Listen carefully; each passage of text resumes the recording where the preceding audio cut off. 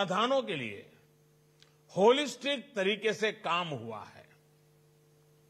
सबका प्रयास की भावना से आज देश के हेल्थ इंफ्रा को, हेल्थ प्लानिंग को इंटीग्रेटेड करने का, राष्ट्रीय संकल्पों से जोड़ने का काम तेज़ी से हो रहा है।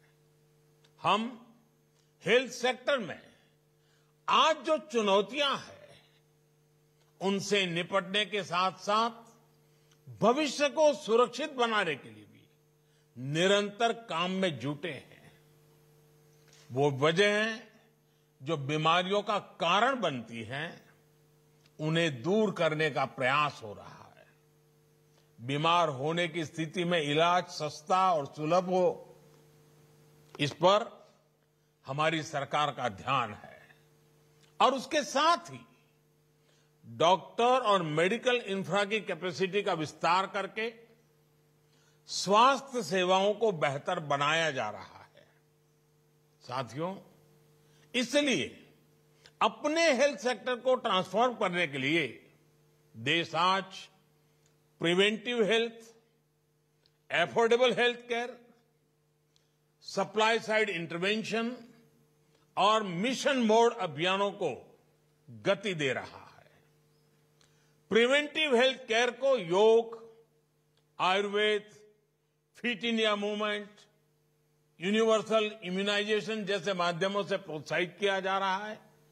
स्वच्छ भारत मिशन और हर गर्ल जल जैसी राष्ट्रीय योजनाओं से गाँव और गरीब परिवारों को अनेक बीमारियों से बचाने में मदद मिल रही है।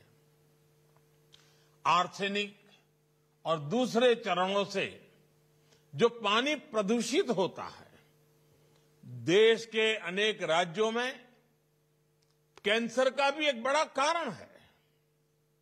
हर घर जल अभियान के इस सब, की से, इसके द्वारा इस समस्या के समाधान में बहुत मदद मदद मदद मिल रही है। साथियों, लंबे समय तक हमारे यहाँ गरीब और निम्न मध्यम वर्ग स्वास्थ्य सुविधाओं से इसलिए वंचित रहे क्योंकि या तो इलाज सुलभ ही नहीं था, या बहुत महँगा था। गरीब अगर गंभीर बीमारी से ग्रसित होता था तो उसके पास दो ही विकल्प थे। या तो वो कर्ज ले, अपना घर या ज़मीन बेचे, या फिर इलाज का विचार ही टाल दे। कैंसर की बीमारी तो ऐसी है, जिसका नाम सुनते ही गरीब और मध्यम वर्ग हिम्मत हारने लगता है। गरीब को इसी कुचक्र, इसी चिंता से बाहर निकालने के लिए, देश सस्ते और सुलभ के लिए निरंतर कदम उठा रहा है। बीते सालों में, कैंसर के इलाज के लिए ज़रूरी दवाओं की कीमत में काफ़ी कमी की गई है। अभी मनसुख भाई इसका विस्तार से बता भी रहे थे। पश्चिम बंगाल सहित पूरे देश में, जो 8000 से ज़्यादा जन औषधि केंद्र स्थापित किए गए हैं, उनमें बहुत सस्ते दाम पर दवाइयाँ और सर्जिकल सामान दिए जा रहे हैं। इन स्टोर्स पर कैंसर की भी 50 से अधिक दवाइयाँ बहुत कम कीमत पर उपलब्ध है।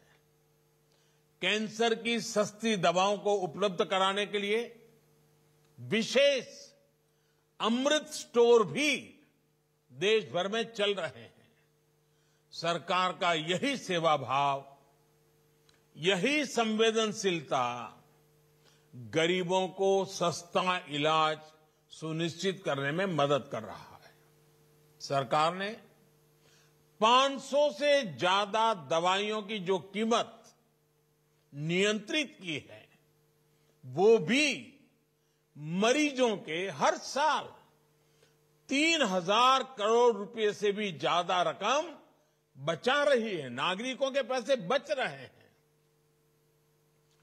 कोरोनरी स्टैंड की कीमत तो फिक्स किए जाने की वजह से हार्ट के मरीजों के हर साल साढ़े चार हज़ार पाँच सौ करोड़ रुपए से ज़्यादा बच रहे हैं। सरकार ने नी इम्प्लांट्स की कीमत कम करने का जो निर्णय किया